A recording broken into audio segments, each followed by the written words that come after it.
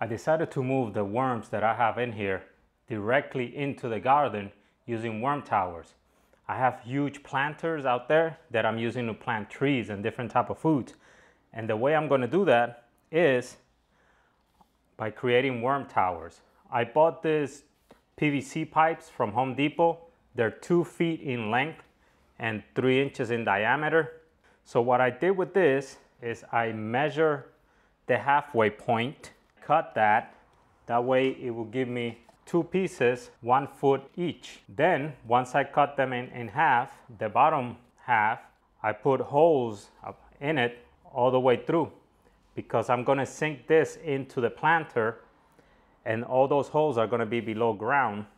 I'm, on the top, I'm gonna put food and water and the worms will be able to go in and out to get the food and then just travel around the, the planter, which is a lot bigger than this.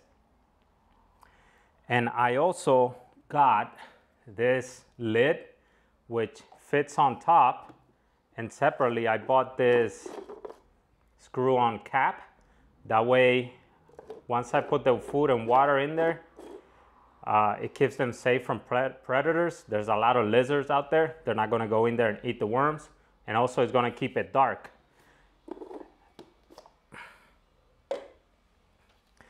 So the, the purpose is, is for what's going on in here, the creating worm castings, to happen directly in the garden without having to go through this and harvesting the castings and the liquid.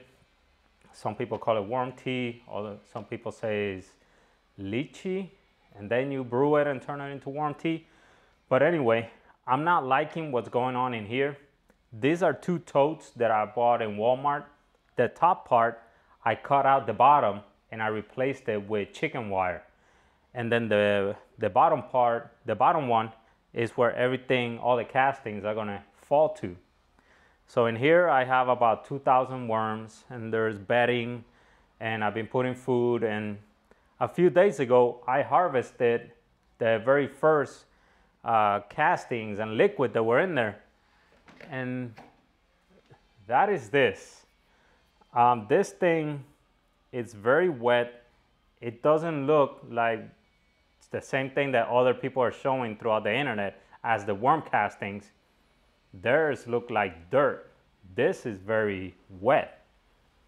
So this, I, all the liquid that was in here, I poured it in here because I didn't know what to do with it and until I figured it out, I put it in here and it was about an inch of liquid. I left it in this garage overnight. The next morning I came to look at it and most of the liquid was gone. Uh, I don't know how it happened. As far as I know, there's no animal in this garage that would have drank that liquid. But I came back the second day and this thing was completely empty. I, I, cannot explain it. It didn't drain out. It wasn't on the floor.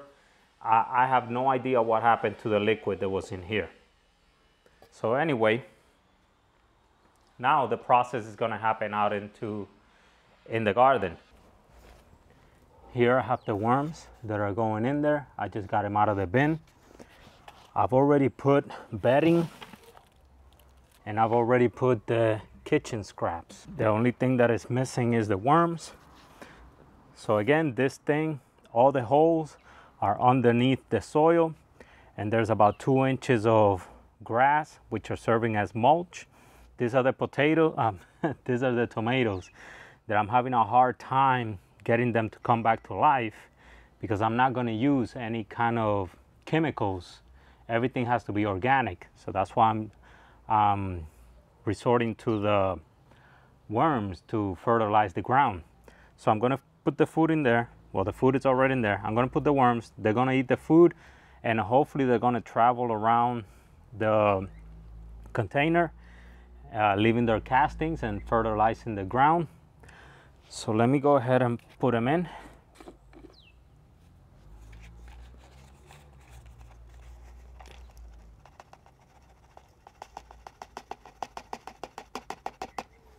I'm gonna close the lid. This is gonna provide darkness because the worm like the worms like the dark. It's also to protect them from predators. There's a lot of lizards out here. I'm hoping that the cats don't sense the food and come in here and start digging for it. I'm to be paying attention to that at night. Uh, that's the window. You can't see it, but that's where I sleep, the window.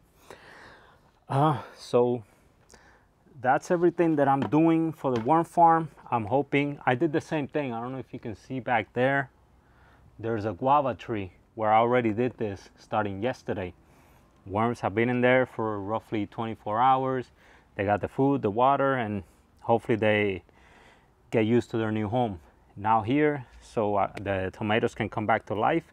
And if that starts to happen, I'm gonna bring other tomatoes that I'm growing in the garage and I'm gonna put them here and then I'm gonna spread this system to the other planters that I have. This is a hawthorn berry tree, sweet potatoes, celery, sweet potatoes, sweet potatoes. I got beans over there, yam, star fruit, papaya tree. So I'm gonna be doing the same thing to all of those if this works. So I'll let you know how, how it goes. I think this is a good uh, idea to try out.